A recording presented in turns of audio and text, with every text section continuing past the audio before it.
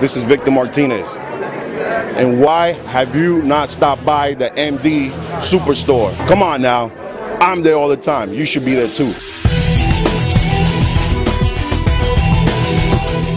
Hey, what's up, guys? This is David Bay reporting for MuscularDevelopment.com. I'm down here in Illinois on the eve of the big contest for the 2013 Wings of Strength Chicago Pro. Uh, standing with me here, I have IFBB Pro Craig Richardson.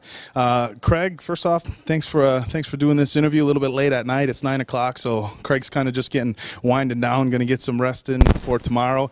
Uh, Craig, initially um, we had you listed as doing the 212 now we spoke a little earlier. You said you weighed in a few pounds over had decided that you were going to stick with the open as opposed to trying to drop a few pounds and make it into the 212 can you talk to us a little bit about your decision for that?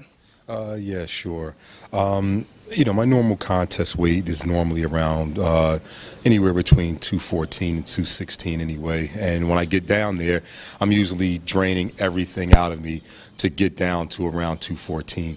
Uh, right now, I'm about 215 or so, and to drop another three pounds uh, may take a little bit more out of me than I would like.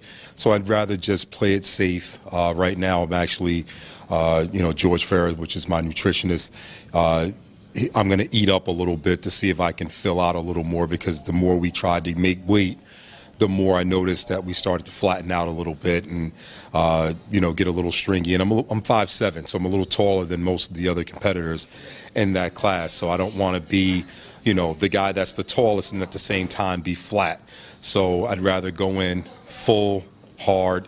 Um, I've had great success in the open before around this same weight, so I don't think uh, tomorrow will be any different. Yeah, that's kind of what I was just going to touch base on is that we know the Craig Richardson that we've seen in the past. You've given up a little bit of size uh, to some of the other competitors, but have still been able to place very well, you know, due to the combination of, you know, full muscle bellies, aesthetics, and fantastic conditioning. So I think, uh, you know, I think I can say, and I think everybody at musculardevelopment.com would agree that uh, your presence in the open uh, is definitely going to make some waves, and, you know, we can look for you uh, being a front runner as you would be in any other show.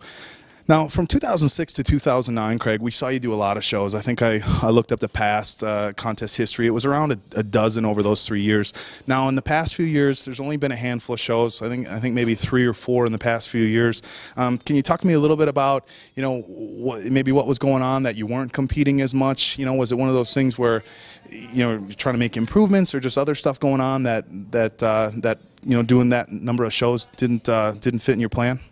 Uh, yeah, well, um, I try to explain to a lot of people sometimes that you have to have a life outside of bodybuilding. Obviously, I've been competing since 1991, so you know I'm getting a little towards the end of my, end of my career.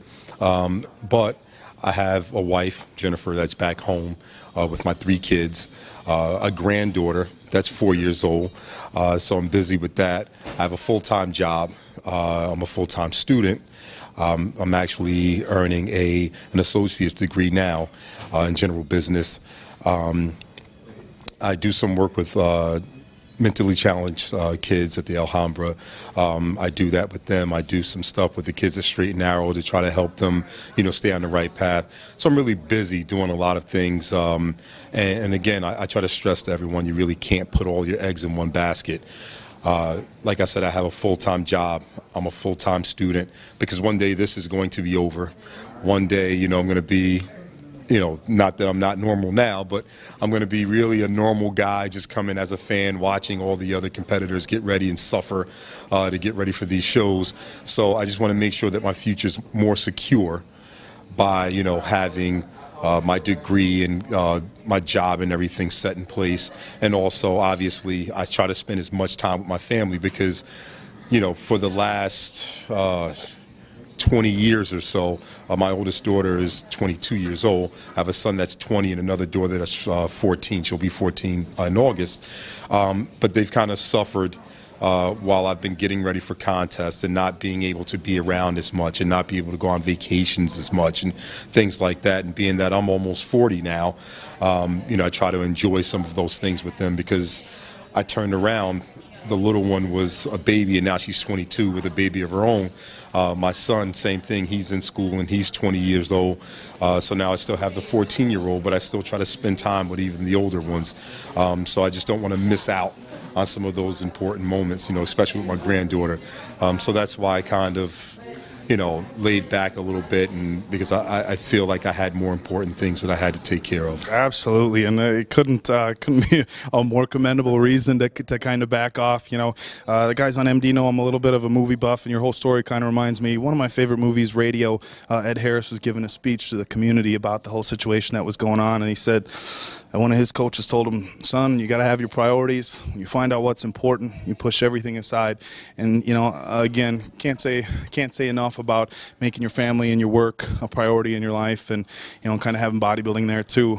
Um, that being said, you know, you are back on the scene now. Looking very forward to uh, seeing you on stage tomorrow. Um, do you have any plans? I know there's only a few more shows left before the Olympia. We have a show coming up in Tampa, uh, then one in Dallas, and there's one over in Finland. Uh, have you looked forward? to any of the other shows yet, or are you kind of just focusing on on tomorrow? I actually focus on one show at a time. I try not to look too far ahead. Um, you'll definitely see me again before uh, the season's over with. Um, you know, if I can, I, I, don't know how some of these guys do it when they get so heavy in the off season. They're able to make make it down. They were making it down to 202 actually. Um, I'm having a hard time getting down to 212 and, and, maintaining fullness. But if I can actually do that, I'd like to, you know, uh, give the 212 Olympia a shot one day just to see, you know, what happens. So, you know, it's not written in stone, but we'll see what happens. So there is a possibility that later on in this year, we could see you still make a move towards the 212 division. Absolutely. Okay, perfect. Well, I'll tell you what, we're going to wrap this up, Craig. I'm going to let you get back to your room and wind down here for the night. Uh, once again, thank you very much for taking your time for this interview for everybody at Muscular Development. Uh, once again, this is David Bay reporting for musculardevelopment.com from Chicago, Illinois with Craig Richardson. Uh, we look forward to seeing you tomorrow, Craig.